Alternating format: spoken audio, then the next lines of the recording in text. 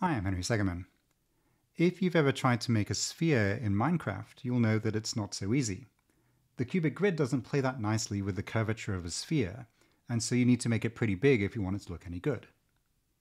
What you're seeing on screen are all of the approximations to spheres that you can make on a cubic lattice, where the center of the sphere is at the center of one of the cubes.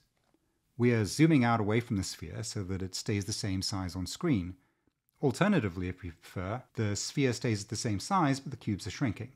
The side length of the cubes is inversely proportional to the time since we started the animation. This visualization runs in real time on the graphics card. You can check it out at shadertoy.com, link in the description. ShaderToy is an amazing website for learning how to code shaders. The code for every shader is listed next to the animation, so you can easily play with examples and see how they work. I wrote this shader to try to answer a question Ravi Vakil asked me. He saw this huge Lego globe at Legoland, California, and noticed the strikingly visible circles all over it. The circles in the coordinate directions of the Lego blocks are unsurprising. These are like contours on the map of a round hill. You expect to see circles there. But it also looks like there were circles midway between the coordinate axes and in other directions as well. So, why are there circles? In which directions do they appear? And why those directions? First of all, on the Lego globe, the sides of the bricks facing in different directions are shaded differently depending on where the light is coming from. Here in the animation, I've colored the faces of the cubes red, green, and blue, depending on the direction they face. This then gives the same effect as for the Lego globe, but it's easier to see since the different directions are given very different colors. Near a coordinate axis, say this one, the color we mostly see is green, since most outer faces of the cubes point in the green direction.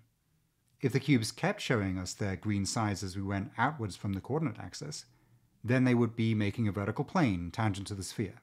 But the cubes are on the sphere, so they have to start stepping away from the plane at some point. Where the cubes step away from the plane, we see their red and blue sides. These red and blue sides disrupt the otherwise fixed green coloring, and so show us the corresponding contour circles. Halfway between the coordinate axes, say here, we don't see a single color as the default pattern, Instead, the default pattern is stripes of green and blue. Again, this pattern must stop at some point as the sphere curves away from a tangent plane. Where it does, we again see a disruption in the pattern of stripes, and again these disruptions act like contours on a map of a round hill, and so we again see circles.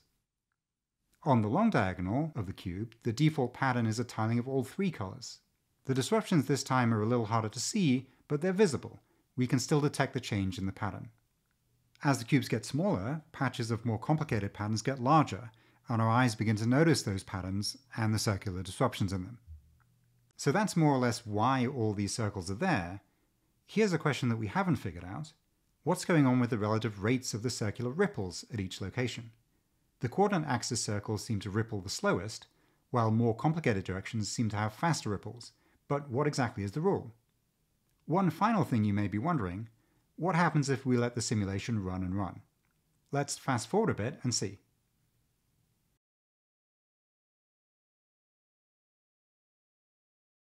Well, the cubes keep getting smaller, and eventually we start seeing moire effects. These arise from interactions between the grid of cubes and the grid of pixels on the screen. I think that these would go away with enough subpixel sampling, but as it is now, eventually the moire effects overcome the pattern of circles. Alright, that's it. Thanks for watching.